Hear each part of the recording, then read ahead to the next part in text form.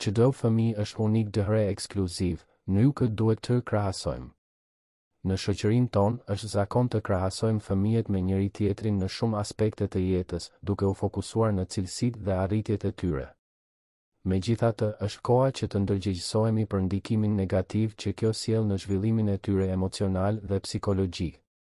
Secili fëmijë është unik dhe i veçantë, dhe ne duhet të mbështesim çdo fëmijë për atë që është, pa e krahasuar me të tjerët. Çdo fëmijë ka talentet, interesat dhe karakteristikat e veta të veçanta. Një fëmijë mund të jetë kreativ, ndërsa një tjetër mund të jetë shkencëtar. Disa janë të shpejtë në të mësuarit e gjuhëve të huaja, ndërsa të tjerët në matematikë. Një fëmijë mund të shkëlqejë në sport, ndërsa një tjetër në art nuk ka një shembull perfekt për një fëmijë, sepse secili prej tyre është e vetëm dhe unik. Kur i krahasojmë fëmijët me të tjerët, ata ndihen të paçmuar dhe të padashurueshëm.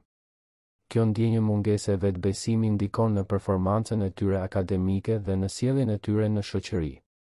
Në vend të mbështetjes dhe inkurajimit, fëmijët fillojnë të kërkojnë vlerësimin e tyre në anët e tjera, duke ndikuar në formimin e një identiteti të pavërtetë dhe të dobësuar.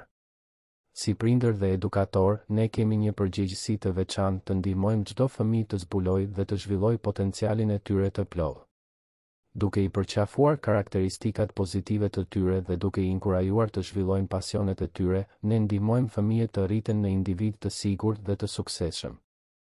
Në vend të krahasimit dhe konkurrencës, duhet të inkurajojmë bashkëpunimin dhe ndihmën reciproke midis fëmijëve. Të ndihmojmë njëri-tjetrin për të rritur, për të mësuar dhe për të arritur kënaqësi në sukseset e njëri-tjetrit. Në fund të fundit, çdo fëmijë meriton të ndihet i vlefshëm dhe i dashur.